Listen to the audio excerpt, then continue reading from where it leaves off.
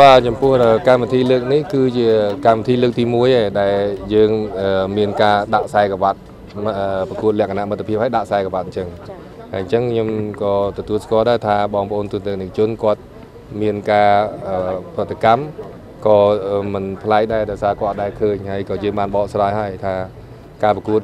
ការពីថ្ងៃអាទិត្យធននាទីជាមួយខ្សែយុគនេះជាការប្រកួតលក្ខណៈមិត្តភាពព្រោះឯវិធីកក៏បានប្រកាសដែរថាប្រកួតលក្ខណៈមិត្តភាពប៉ុន្តែ កីឡាករទាំងពីរគាត់ព្រមព្រៀងនេះដាក់ខ្សែក្រវ៉ាត់ដើម្បីលេងឲ្យធំតិចចង់និយាយថាឲ្យការប្រកួតនោះវាកាន់តែមានការជក់ចិត្តដិតអារម្មណ៍ហើយការប្រកួតមិត្តភាពយើងដឹងហើយថាវាមានលទ្ធផល3គឺឈ្នះចាញ់និងស្មើចឹងហើយលើកនេះគឺយើងបានបកស្រាយជូនទូទៅនិកជនឲ្យបានយល់ហើយបើមានការប្រកួតក្រោយៗទៀតក៏យើងនឹងព្យាយាមបកស្រាយឲ្យបានមុនបានដឹងថាតើការប្រកួតហ្នឹងលក្ខណៈរបៀបម៉េចហើយ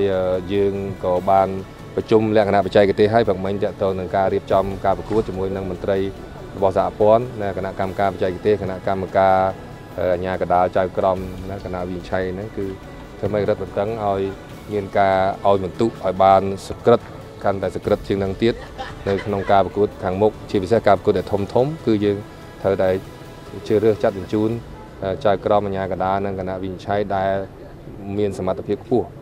ដែលកម្រិត A ដែរបានថាការប្រកួតកម្រិត A យើងត្រូវដាក់កម្រិត A ដែរដើម្បីឲ្យធ្វើម៉េចការប្រកួតហ្នឹងវាមានសក្រិតត្រឹមត្រូវហើយការដាក់បន្ទុកហ្នឹងគឺមានស្តង់ដារតែមួយព្រោះយើងឃើញហើយសារការប្រកួតសាមិញនេះដូចខ្ញុំបានបកស្រាយតាមការរយៈការធ្វើសន្និសិទមិញនេះគឺសូម្បីតែការដាក់បន្ទុកក៏មានលក្ខណៈខុសគ្នាដែរក្នុងចៅក្រម5នាក់មាន2នាក់ឲ្យទូនាទីឈ្នះ2នាក់ ឲ្យទៅសាយយកឈ្នះហើយម្នាក់ទៀតឲ្យស្មើហើយ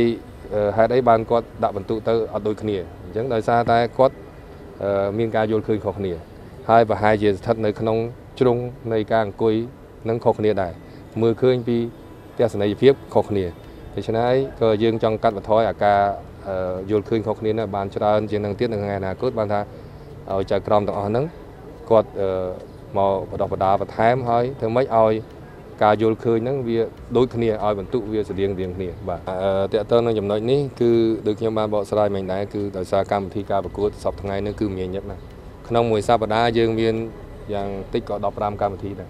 គ្រប់ស្ថានីយទូរទស្សន៍មាន3 4 5កម្មវិធីនៅស្ថានីយទូរទស្សន៍ខ្លះគឺមានញឹកសឹងតែអត់មានកីឡាករល្អល្អឲ្យទៅនេះឲ្យទៅស្ថានីយហើយស្ថានីយមួយមួយរកតែសិតតែកីឡាករកម្រិត A ដោយសារអីដោយសារគាត់ចង់បំពេញ ទស្សនីយអារម្មណ៍របស់ទស្សនិកជនទស្សនិកជនគ្រប់គ្រងអ្នកណាគាត់ចង់តែយកអ្នកនឹងទៅវាយអញ្ចឹងហើយបានជាពិបាកក្នុងការដណ្ដើមគ្នាកីឡាករមួយចំនួនសឹងថាជាប់រសប្តាហ៍ហើយគេកក់មុនសពី3ខែណាបាទគេកក់ទុកមុនហើយព្រោះអីខ្លាចទៅជាប់ទៅកម្មវិធីផ្សេងអញ្ចឹងហើយក្នុងនាម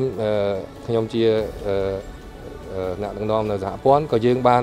ពិភាក្សាផ្ទៃក្នុងដែរចំពោះតែការរៀបចំដូចឥឡូវយើងបានរៀបចំគណៈកម្មការចាប់គូក្នុងនោះដែលមានខ្ញុំជាប្រធានគណៈកម្មការចាប់គូ យើងនឹងរៀបចំនៅសមាជិកភាពមន្ត្រីចាប់គូរបស់យើងនៅតាមស្ថានីយ៍មួយមួយហើយគឺការរបស់យើងក្នុងការឲ្យមានតម្លាភាពនោះគឺយើងត្រូវតែឲ្យមានការចាប់គូឲ្យបានត្រឹមត្រូវដោយយើងមានការបែងចែករវាងកីឡាករកម្រិត A កម្រិត B កម្រិត C ក៏និងកម្រិតថ្នាហ្នឹងឲ្យបានការចូលរួមនៅការប្រកួតនៅកម្មវិធីមួយមួយឲ្យបានស្មើស្មើគ្នាកុំឲ្យថាពេលខ្លះកម្មវិធីមួយស្រាប់តែលេងមានកីឡាករកម្រិត A 5នាក់5ប្រកួត ដូចថាកម្មវិធីខ្លះលេងមឿនមិខៀផង A អាំរិនផងទៅព្រំសំណាងផងអឺធឿនធារាផងលេងសិតថាកម្រិតកម្ពូលហើយ5 4 5នាក់ក្នុងមួយកម្មវិធីចុះឲ្យកម្មវិធីផ្សេងទៀតអញ្ចឹងបានថាយើងចង់ឲ្យបែងចែកបានថាកម្មវិធីមួយមានកម្រិត A តែម្នាក់ឬក៏2នាក់ចុះហើយកែហ្នឹងយើងដាក់កីឡាករគូអមពី3គូទៅគូថ្នាលពី3គូទៅដើម្បីធ្វើម៉េចឲ្យ យុវជនថ្នាលឬក៏កីឡាករកម្រិតផ្សេងហ្នឹងគាត់មានឱកាសក្នុងការអភិវឌ្ឍខ្លួនទៅរកកម្រិតខ្ពស់ដែរបាទបើអត់អញ្ចឹងទេគាត់នឹងមិនមានឱកាសទេបាទនេះជាឆន្ទៈរបស់សហព័ន្ធដែលយើងនឹងធ្វើកំណែតម្រង់ហ្នឹងហើយនឹងធ្វើការសម្របសម្រួលជាមួយស្ថានីយ៍ក៏ដូចជាដៃគូអភិវឌ្ឍឲ្យគាត់យល់យកហើយទទួលយកលក្ខខណ្ឌហ្នឹងបាទកម្មវិធីពិសេសគឺយើងដូចជាមិនមិនមានអីកម្មវិធីពិសេសទេគាត់ថានេះជាបទពិសោធន៍យើងដឹងថាបើសិនតែមានអ្វីថ្មីយើងគួរតែបកស្រាយគាត់មុន ព្រោះយើងក៏ដែរជួបដែរនិយាយថងទៅធ្វើសហព័ន្ធប៉ុន្តែក្រៅប្រទេសគេមាននៅដំណើរសកលរំលាប់ពិភពលោកណាកីឡាករហ្នឹងយកខ្សែក្រវ៉ាត់មកម្នាក់មួយហើយវាយទៅចាញ់ឈ្នះយកដាក់ខ្សែក្រវ៉ាត់ណាបើសិនតែស្មើយកខ្សែក្រវ៉ាត់ទៅរៀងខ្លួននៅក្រៅប្រទេសមានតែបើនៅខ្មែរដូច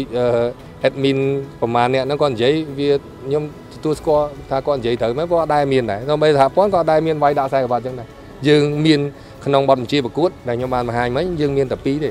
ក្នុងបទបញ្ជាប្រកួតរបស់សហព័ន្ធគឺមួយវាយដាក់ខ្សែក្រវ៉ាត់ដណ្ដើមខ្សែក្រវ៉ាត់មួយទៀតវាយការពារខ្សែក្រវ៉ាត់បាទវាយដណ្ដើមខ្សែក្រវ៉ាត់ការពារខ្សែក្រវ៉ាត់គឺត្រូវតែមានចាញ់ឈ្នះប៉ុន្តែនេះគឺវាយ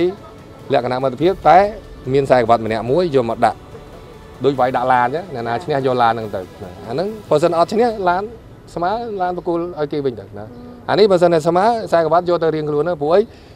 យើងគោលការណ៍របស់យើងតាំងពីដើមមកគឺការប្រកួតនឹងមិត្តភាពអ្នករៀបចំក៏មកប្រាប់ថាមិត្តភាពក៏បានសុំគោលការណ៍មកសហព័ន្ធថាជាប្រកាសការប្រកួតទៅតាមខ្សែក្រវ៉ាត់ទេយល់ហើយយើងយល់ថាជាការប្រកួតមិត្តភាពប៉ុន្តែកីឡាករព្រមព្រៀងគ្នាសូមឲ្យមានការដាក់ខ្សែក្រវ៉ាត់បានណាគាត់ចង់លេងឲ្យធំតិចបាទហើយអាហ្នឹងជាលើកទី1ដែរសម្រាប់សហព័ន្ធចំពោះខ្ញុំខ្ញុំគិតថាសហព័ន្ធដូចមិនមានការចាំបាច់ក្នុងបញ្ចូលអឺការកម្មលក្ខខណ្ឌនៅក្នុងលក្ខខណ្ឌនៅក្នុងបទបញ្ជាប្រកួតទេ ព្រោះអីឥឡូវលើកនេះយើងដឹងហើយអញ្ចឹងទស្សនិកជនក៏គាត់បានដឹងដែរចំពោះបទបញ្ជាប្រកួត គឺយើងមានចែងតែពីរទេមួយការប្រកួតលក្ខណៈមិត្តភាពមួយការប្រកួតលក្ខណៈខ្សែក្រវ៉ាត់បាទអញ្ចឹងអឺគោលការណ៍របស់សហព័ន្ធគឺពីរហ្នឹងចែងច្បាស់ណាប្រកួតមិត្តភាពលក្ខណៈមិត្តភាពគឺមានលទ្ធផល3ចាញ់ឈ្នះនិងស្មើហើយបើប្រកួតជាលក្ខណៈដណ្ដើមឬក៏ការពារខ្សែក្រវ៉ាត់ហ្នឹងគឺមានតែចាញ់និងឈ្នះទេនិយាយហើយបើសិនជាការប្រកួតលើកក្រោយទៀត ទោះបីជាដាក់ខ្សែក្រវ៉ាត់តែនៅក្នុងកម្រិតអីគេកម្រិតមិត្តភាពគឺមិត្តភាពតែគាត់ចង់ដាក់អីអានឹងជារឿងមកតែយើងនិយាយតែពីថាការប្រកាសគឺការប្រកួតមិត្តភាពចំពោះខ្ញុំខ្ញុំគិតថាអ្វីដែលយើងចំណេញពីទូទៅយើងឃើញហើយនៅក្នុងសង្គមយើងអឺបញ្ហាចង់និយាយថាភាពល្បីក៏វាកើតឡើងពីបញ្ហាយើងនិយាយថាឲ្យសួរស្ដាប់ថាវាគេច្រើនជេរល្បីបាទគេជេរច្រើនល្បីច្រើនដូចអ្នកមួយចំនួនដែលគាត់ ល្បីល្បាញដោយសារការជេរការឆ្លោះចឹងយើងអញ្ចឹងខ្ញុំគិតថាការទីទានច្រើនហ្នឹងក៏ជារឿងល្អដែរដែលធ្វើឲ្យការចាប់អារម្មណ៍ប៉ុន្តែយើងត្រឡប់មកវិញយើងនិយាយទៅពីភាគីថៃបើសិនជាចំពោះកីឡាករខ្សែយុគផ្ទាល់ខ្លួនក៏ដូចជាប្រម៉ូទ័រដែលនាំគាត់មកហើយនឹងកីឡាករដែលមកជាមួយគាត់គាត់សប្បាយរីករាយគាត់ទទួលយកលទ្ធផលនឹងហើយយល់ព្រមដោះដូរខ្សែក្រវ៉ាត់ជាមួយនឹងធនលទ្ធិទៀតហើយសន្យាថានឹងមកប្រកួតលើកក្រោយនៅទឹកដីកម្ពុជាម្ដងទៀតនៅថ្ងៃណាមួយពេលដែលគាត់ទំនេរហើយ បានបង្ហាញថាការប្រកួតនឹងគឺគាត់ទទួលយកបានហើយខ្ញុំគិតថាភាគីខាងថៃខាងប្រជាពលរដ្ឋថៃក៏គាត់យល់ដែរពីលក្ខខណ្ឌទាំងអស់ហ្នឹងហើយអ្វីដែលយើងអនុវត្តទៅក៏មិនអាក្រក់មើលដែរខ្ញុំជឿថាគឺអាចទទួលយកបានទាំងអស់គ្នាហើយនឹងយើងបន្តរឹតចំណងសាមគ្គីភាពជាមួយគ្នាតទៅមុខទៀតផ្ទុយទៅវិញបើសិនការប្រកួតសាមញ្ញយើងឃើញហើយបើសិនតែមានការចាញ់ឈ្នះប្រហែលជាពិបាកដោយសារការប្រកួតហ្នឹងវាអត់ដាច់បាទថាការចាញ់ឈ្នះវាអត់ដាច់មានមតិដូចខ្ញុំនិយាយថា សំបីតែចៅក្រម5នាក់2នាក់ឲ្យឈ្នះ2នាក់ឲ្យចាញ់អញ្ចឹងក្នុងក្នុង5នាក់ហ្នឹងមានមតិផ្ទុយនិងមតិស្របហើយចុះក្នុងចំណោម7 10លានអ្នករបស់កម្ពុជា50លានអ្នកជាងរបស់ថៃតើមានមតិប្រមាណស្របមានមតិប្រមាណឆាំងអ្នកដែលស្របនឹងសបាយអ្នកដែលប្រឆាំងនឹងជេរអញ្ចឹងបើមានការកាត់ក្តីចំណុចកដាលមួយខ្ញុំគិតថាក៏វាល្អមើលដែរតែបើសិនជាមានឈ្នះបើសិនឲ្យធនធានឈ្នះជាប្រទេសថៃច្បាស់ជាជេរយើងគ្រប់គ្នា ហើយបើឲ្យធនធានចាញ់អ្នកគ្រប់គ្រងធនធានក៏ប្រហែលជាជេរថាអូសហព័ន្ធចៅក្រមញាកដាលំអៀងមើជន់ឈ្លីជាតិសាសអីឬយ៉ាងម៉េចអញ្ចឹងបានថាលក្ខណៈបច្ចេកទេសឬក៏លក្ខណៈនយោបាយការប្រកួតសាមញ្ញខ្ញុំជឿថាអាចទទួលយកបាននិយាយតែថ្នាក់ផ្ទាល់ខ្លួនខ្ញុំអាចទទួលយកបានហើយវាល្អសម្រាប់មិត្តភាពសាមគ្គីភាពរវាងប្រទេសទាំងពីរចំពោះគូពីរនេះបើសិនតែមានការជួបគ្នាលើកក្រោយទៀតទីមួយក្នុងនាមសហព័ន្ធប្រយ័ត្នដោយសារវាធ្លាប់មានការទីទៀតយើងនឹងរៀបចំឲ្យមាន ចៅក្រមញាកដាគណៈវិញ្ឆ័យនឹងកម្រិតខ្ពស់បំផុតបានថារឹស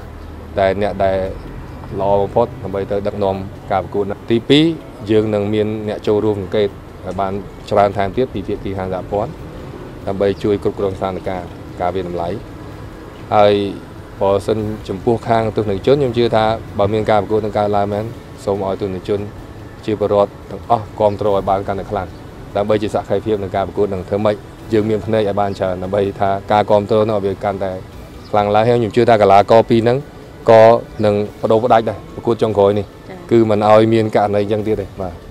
បើសិនជាចូលចិត្តវីដេអូនេះកុំភ្លេចចុច like និង share ហើយ follow page ដើម្បីទទួលបានមាតិកាថ្មីៗល្អៗចូលរួមជាមួយសប្បាយនៅពេលនេះ